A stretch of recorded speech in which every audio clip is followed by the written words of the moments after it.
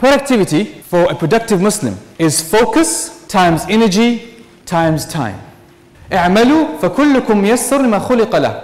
Work, all of you be made easy what you've been created for.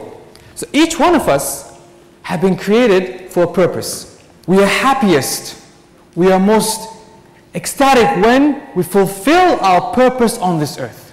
Don't think being productive means just work, work, work. Meaning it means living a holistic lifestyle. Have a sense of urgency. Realize your life is short, that in any moment you may die.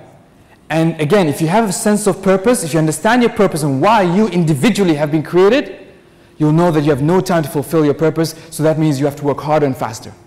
People think sleep, that's easy, just drop dead every night. There's more to this. After this session, you'll never see sleep the same again.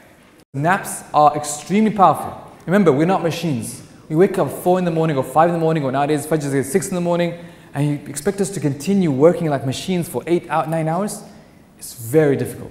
We are not machines, we're human beings. We're here to learn about three spheres of productivity. Spiritual, physical, and social. You don't wake up in the morning and, ah, I'm productive today. It takes time. It's a process. Also, productivity is not boring. People think Mr. Productive, you know, is always busy, cannot do anything right now. Sorry, he's busy, sorry. That's not being productive. Productivity is knowing when to have fun and when to work, when to relax and when to go forward. Even Prophet Muhammad وسلم, who was the most productive man ever lived, he took time out.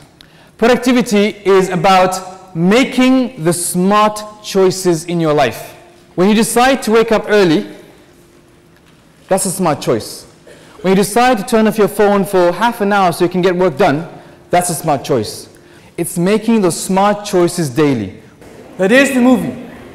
That is this gets yourself active, right? Every hour you should be moving.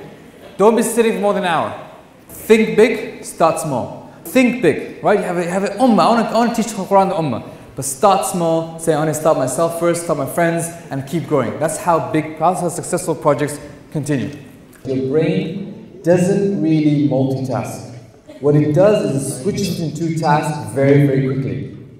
So even though you think you're doing two things at the same time, what you realize is you, you switch, your brain is switching between two different, two different attentions, two different focuses very, very quickly.